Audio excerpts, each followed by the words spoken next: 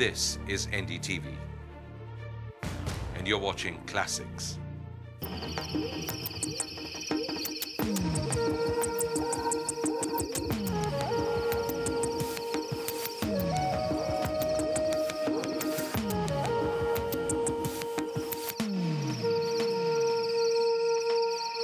नमस्कार safari India में आपका स्वागत है इस कार्यक्रम के ज़रिए हम आपको ले चलेंगे भारत के जंगलों में, जहाँ की दुनिया तेज़ी से बदल रही है। कई जानवर गायब हो रहे हैं तो कई ऐसे लोग हैं जिन्होंने इन जानवरों को बचाने में अपनी ज़िंदगी लगा दी। जंगल के राजा शेर हो या डाल पर बैठी नन्ही चिड़िया, कौन मारता है इन्हें और बचाने के लिए हम और आप क्या कर सकते हैं? ऐसे तमाम मुद्दों को लेकर हाजिर हैं हम। आज हम आपको ले चलेंगे तेंदुए के पीछे, जो कभी खुले आम घुमा करते थे। लेकिन अब जब जंगल मिटते जा रहे हैं, तेंदुए बिना जंगलों के भटकते हुए इंसानी आबादी की तरफ़ आ जाते हैं। और शुरू होती है एक लड़ाई, तेंदुए और इंसान के बीच। एक ऐसी लड़ाई जिसमें कौन मुजरिम है और कौन बेकसूर, ये साफ़ नहीं। सफारी इंडिया में आज तेंदुए की कहानी।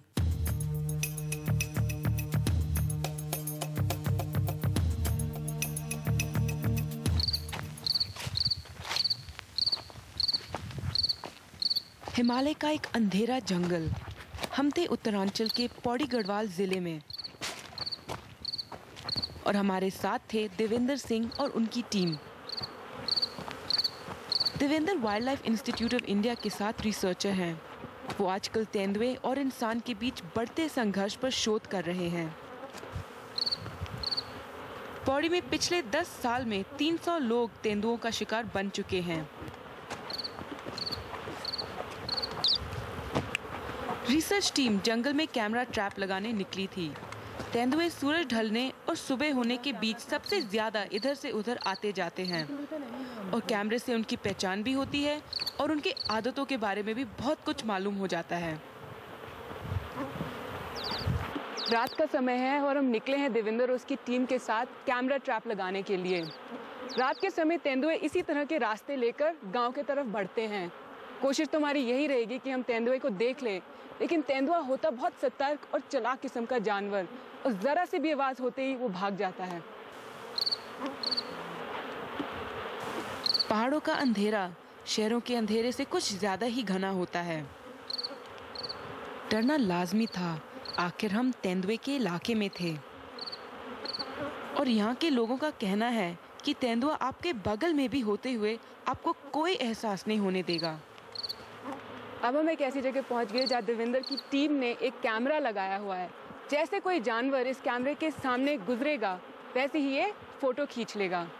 अब हमने तो आज रात कोई तेंदुआ देखा नहीं, लेकिन अगर कोई तेंदुआ इस रास्ते से जाएगा तो ये कैमरे के ज़रिए हमें पता चल जाएगा।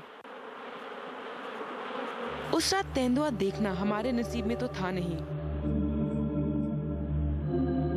लेकिन बाद में हमें कैमरे से पता चला कि ठीक उसी रास्ते से तेंदुआ गुजरा था इस पूरे उत्तरांचल स्टेट में पिछले दस सालों में आ, लिपड़ जो लेपर्ड है गुलदार जिसको आप बोलते हैं उन्होंने तकरीबन 300 लोगों को अपना शिकार बनाया है अच्छा। तो हम लोग देखना चाहते थे कि क्या है कहाँ कहाँ प्रॉब्लम है कितना है और तो हमने क्या किया कि दो साल का एक सर्वे वर्क हमने किया इस पूरे उत्तरांचल स्टेट में अच्छा तो उसके बाद हमें पता चला कि पौड़ी गढ़वाल जो है is one of the worst affected district in. Uttaranchal district तो हम लोगों ने हमें बाद में एहसास हुआ कि हमें इन एरियाज़ में लेपर्ड का इकोलॉजी और बिहेवियर को इसलिए आपने पौड़ी हाँ, चुना हाँ study। इंटेंसिव स्टडी एरिया के लिए अच्छा। जानने की ज़रूरत है तो हम लोग यहाँ पे क्या करेंगे इन जो हाईली अफेक्टेड एरियाज़ हैं उसमें अपना लेपर्ड का इकोलॉजी और बिहेवियर देखेंगे क्यों लेपर्ड अपना बिहेवियर चेंज कर रहा है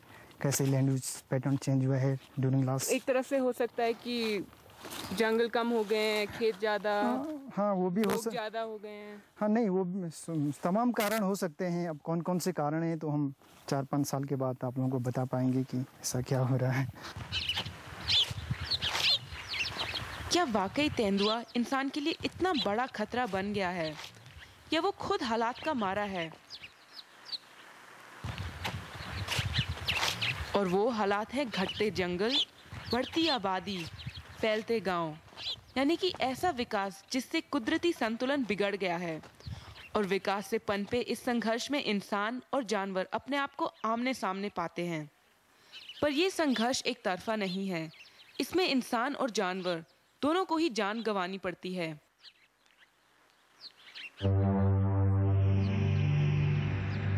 ये तेंदुआ गाँव में घुसा और गाँव वालों ने इसे आदमखोर समझकर मार डाला। रिसर्च टीम मारे गए आदमखोर तेंदुओं की डीएनए की जाँच से पता लगा रही है कि क्या इन सब तेंदुओं में आपस में किसी तरह का कोई रिश्ता है और क्या ये पैदाइश से ही इंसान को शिकार के रूप में देखते हैं। इसके अलावा ये टीम तेंदुए का स्कैट यानी कि लीद भी जमा करते हैं। तो ये जो आपने तेंदुए के ड्रॉपिंग्स कलेक्ट किए हुए हैं इससे आप क्या पता लगाना चाह रहे हैं? नहीं जो ड्रॉपिंग के द्वारा हम किसी जो परभक्षी हैं उसका हम फ़ूड हैबिट्स के बारे में पता कर सकते हैं कि क्या क्या वो खा रहा है किसी पर्टिकुलर जगह पे।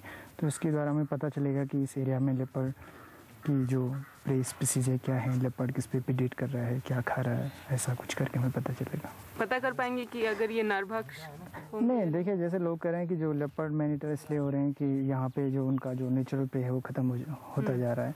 तो हम तभी जाके जब इसको एनालिसिस करके पता चलेगा कि वास्तव में इसमें क्या है वाइल्ड स्पीसीज है या लाइव स्टॉक खाया हुआ है तो उसके बाद हम पता करेंगे कि इसका एग्जैक्ट पूरा क्या खा रहा हम्म, है leopard there could be two probability.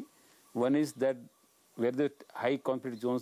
दो तरह की संभावनाएँ हो सकती हैं। जहाँ तेंदुए ज़्यादा हैं वहाँ ज़्यादा हादसे होते हैं या फिर जहाँ कम हादसे होते हैं वहाँ तेंदुए कम हैं।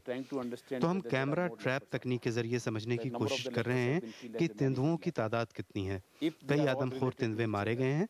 हम डीएनए टेस्ट के ज़रिए देख रहे हैं कि वो एक ही परिवार के हैं या अलग अलग अगर वो अलग अलग है तो इसका मतलब है कि ये महज इतफाक है।